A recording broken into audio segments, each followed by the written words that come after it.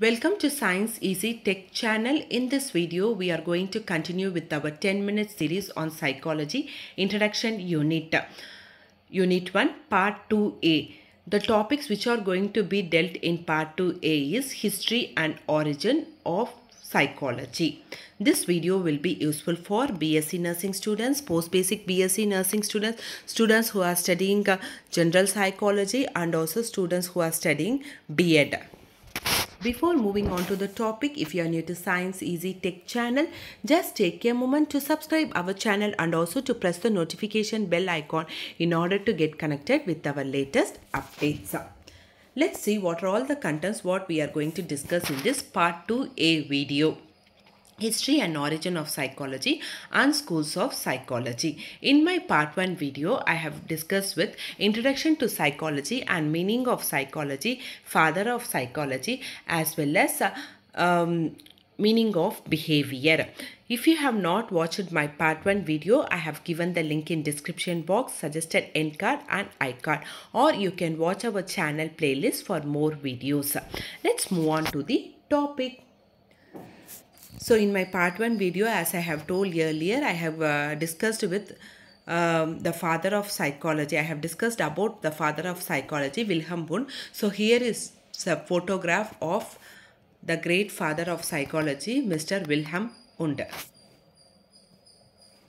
Next, moving on to the history and origin of science of psychology. In 1979, the first psychological laboratory was established at the University of Leipzig by the German philosopher and psychologist Wilhelm Wundt. He is considered as the father of psychology and he defines psychology as the study of consciousness. So in 1879, the first psychological laboratory was set up at the University of Leipzig by the German philosopher Mr. Wilhelm He is a philosopher as well as psychologist. He was the one who first studies the human behavior and he told that psychology can be defined as the study of consciousness. That's why he is considered as the father of psychology. Next, William James and uh, Wilhelm Wundt and other psychologists of that period or time, they thought psychology is the study of mind. Okay, mostly William James, he told that psychology is the study of mind.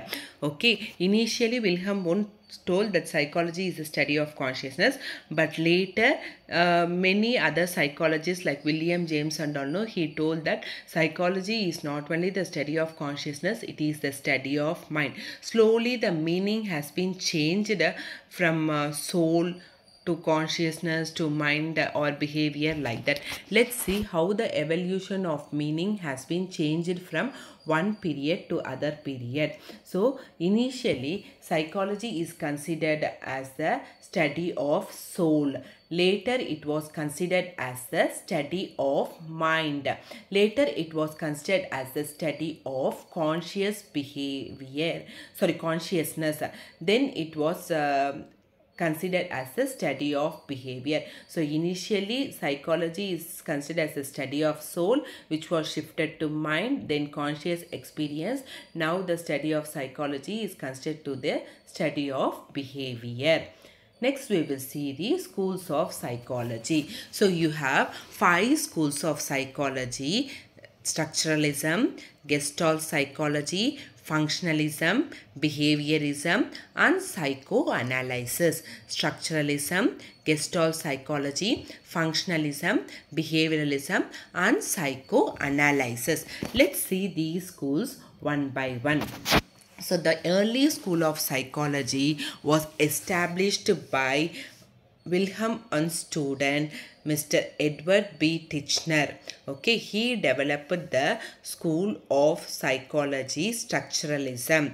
Okay, what he believed is that the mind is made up of many units or elements. Mind is made up of so many elementary units. Okay, many elementary units forms the mind. This was believed by structuralism. So structuralism, who has uh, found this structuralism school? This early school of psychology was found by Wilhelm Wundt uh, student Mr. Edward B. Titchener. What is the goal of this structuralists? They thought that mind is made up of many elementary units and how we can find out these elementary units is by means of introspection. By introspection we can find out these elementary units of mind. So this was dealt in structuralism. Next moving on to Gestalt psychology. Okay, so this Gestalt psychology was found in Germany in the year 1912 by Max Wertheimer. So this was found in Germany in the year 1912 by Max Wertheimer and his colleagues. Okay, Max Wertheimer and his colleagues found this Gestalt psychology. Gestalt, the meaning of Gestology is whole, W-H-O-L-E, whole okay so they told that mind is made up of the whole sensory pattern activity okay these psychologists they told or they argued that mind is to be considered as the whole pattern of sensory activity and the relationship and organization within this pattern. But what structuralists told they told that mind is made up of various units or elements. But this uh, gestalt psychologists uh, they they argued that mind is not made up of units or elements and mind has to be considered as a whole in terms of sensory activity. And the and based on the sensory activity your relationship your organization your behavior will be existing. Okay. So these psychologists they they never accepted structuralist um, psychology. They told that mind is made up of various uh, sensory pattern activity and its organization and its relationship with this pattern. Next to moving on to functionalism. Functionalists like John Dewey and James R. Angell and Harvey Carr, they proposed that what psychology should do is what mind and behavior do. What mind and behavior do is what psychology they told. So they have performed various experiments uh, and they have identified how learning, memory, problem solving and motivation help people as well as animals to adapt to their environment. Okay, so they told that your learning, your memory, your problem solving and motivation will make people and animal to adjust to their environment and they have conducted many experiments also based on learning, memory, problem solving and motivation.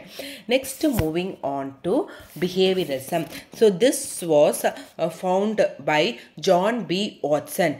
In behaviorism, behavior is given more important. So psychology is nothing but the study of activities of people and animals in terms of their behavior. So they have given importance to behavior.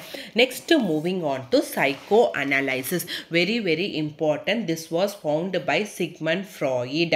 Okay, who is considered as the father of psychoanalytic theory. Okay so he developed this psychoanalysis. He told that our behavior is based on the unconscious level drives also, unconscious wishes or unconscious drives. In dream analysis theory, Sigmund Freud told that dreams are unfulfilled wishes of an individual. Dreams are unfulfilled uh, wishes of an individual. He also told that uh, um, our behavior is mainly the expression of our uh, unconscious drives which are in the unconscious that will be exhibited or shown up in our behavior and thought. So the five schools of psychology or structuralism, gestalt psychology, functionalism, behaviorism and psychoanalysis. So my next video will be on major perspectives of psychology and major landmarks in the development of psychology. A quick recap of what we have seen in this video. In this video we have seen about the history and origin of science of psychology evolution of psychology from soul mind experience and behavior and the schools of psychology mainly structuralism gestalt psychology functionalism behaviorism and psychoanalysis. Hope this video is clear for you all. If you like my video please give a thumbs up share and subscribe to science easy tech channel. My previous videos link i have given in description box suggested end card and i card thank you friends